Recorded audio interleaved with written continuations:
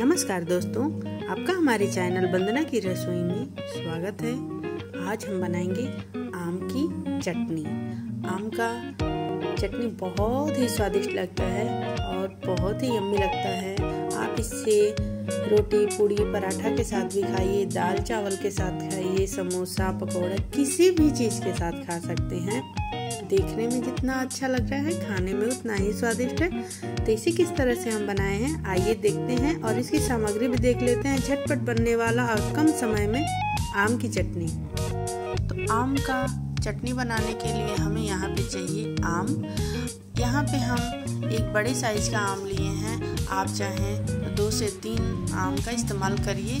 आप इस चटनी को बना के स्टोर करके एक हफ़्ते से पंद्रह दिन भी खा सकते हैं। ये कहीं से भी ख़राब नहीं होता है। तो यहाँ पे हम आम लिए हैं और इसे छील के अच्छी तरह से बारीक काट लेंगे। क्योंकि आम को पीसने में अगर आप बारीक अच्छे से नहीं काटेंगे तो ये आम जल्दी अच्छे से नहीं पीसा जाता है। यहाँ पे हम क्या क्या लिए थे वो भी दिखा देते हैं। तो अदरक का टुकड़ा, सेंधा नमक, यहाँ पे हम जीरा, लाल मिर्च, हरी मिर्च और धनिया लिए हैं।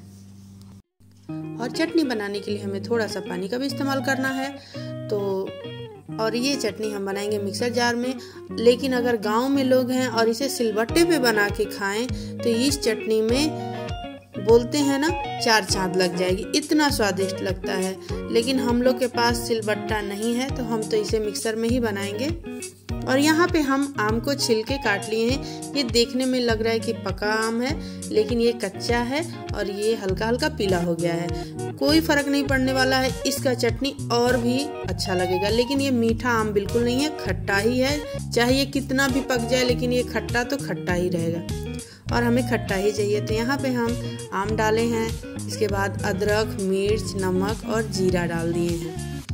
इसके बाद हमें लाल मिर्च डालना है और धनिया डाल देते हैं और थोड़ा सा हम पानी का इस्तेमाल करेंगे। और लीजिए, झटपट ये चटनी बन जाएगी। आप इसे किसी भी चीज़ के साथ खाइए। स्वादिष्ट चटनी बन के रेडी तो यहाँ पे हम आपको पीस के भी दिखा देते हैं। और इस चटनी को आप ज़रूर बनाइए और खा के ज़रूर बताइएगा कि ये चटनी आप लोगों को कैसी लगी। अगर मेरा वीडियो अच्छा लगे तो प्लीज़ लाइक, शेयर, कमेंट करिए, सब्सक्राइब करिए। तो यहाँ पे चटनी बन के बिल्कुल रेडी हो गई है। तो आइए इस चटनी को निकालते हैं और फिर दिखाते हैं कि कितनी यम्मी सी चटनी आम की बन के रेडी हो गई है। तो आप लोग भी आम की चटनी ज़रूर बनाइएगा। और ये हम फास्टिंग के लिए बना रहे हैं। तो इसमें सेंधा नमक डाले हैं। आप इसमें भुना हुआ जीरा और काला नमक डाल सकते हैं। ऐसे नॉर्मल दिन में खाना है तो सेना नमक डालिए। और देखिए कितना यम्मी चटनी बन के रेडी है। तो अगर आपको वीडियो अच्छा लगा हो तो प्लीज़ लाइक शेयर कमेंट करिए सब्सक्राइब करिए मेरे चैनल को। तो चलिए फिर मिलते हैं नेक्स्ट वीडियो में। तब तक के लिए धन्यवाद दोस्तों।